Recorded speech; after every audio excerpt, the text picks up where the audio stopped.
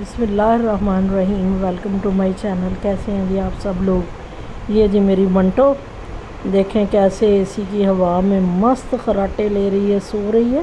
اور میں تو حیران ہوں کہ ہلکی ہلکی آواز اس کے نتنوں سے آ رہی تھی۔ میں نے سوچا شاید انسان ہی خراٹے لیتے ہیں، لیکن یہ بھی خراٹے لے رہی تھی۔ اتنی بے ہوش ہو کے کھا پی کے سو رہی تھی اور کمرہ ٹھنڈا یک ہو گیا۔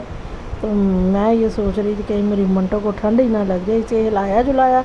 اور مجال ہے منٹو کہیں اپنا ہاتھ پاؤں ہلائے یا اپنی نیند خراب کرے کوئی ہوش نہیں آئی اس کو تو ہم بھی اس کے آرام اور سکون کا خاص خیال رکھتے ہیں تو لگتا ہے میری منٹو جو ہے وہ پریگننٹ ہو گئی ہے سست سی ہوئی پڑی ہے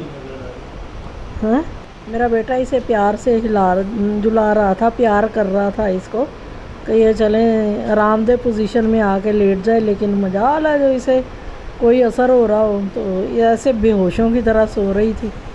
تو اس کو ہم نے ڈی وارمنگ بھی کی ہے۔ تو پتہ نہیں اس دوائی کا اس کو نشہ سا ہو رہا ہے۔ اس کو زینٹرل سیرپ دیا ہے۔ تو تاکہ اس کی ڈی وارمنگ ہو جائے۔ ڈی وارمنگ ہونے سے ایک تو جو ہے پیٹ اس کی صحت اچھی رہتی ہے اور جو بال گرنے کا مسئلہ ہے، وہ بھی نہیں ہوتا۔ اور موسم برسات میں تو خاص طور پر پیٹس کی جو ہے وہ ڈی وارمنگ کرنی چاہیے۔ ہر تین مہینے کے بعد موسم کوئی بھی ہو، ان کی ڈی وارمنگ کرنی چاہیے۔ ہم نے تو اب اس لیے کی ہے کہ یہ برسات ہے، برسات کے موسم میں تو جلدی بیماریاں اور اس قسم کے جو بال گرنے کے ایشوز بہت آتے ہیں۔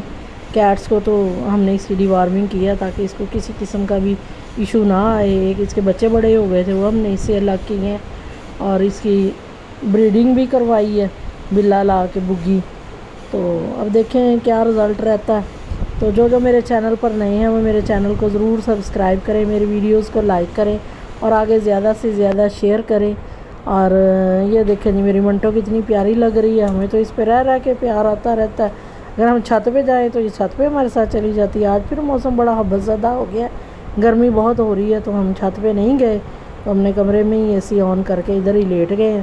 تو یہ جناب آ کے ہمارے پاس ہمارے ساتھ ہی لیٹ گئی، ہمارے ساتھ ہی رہتی ہے ہماری بلی۔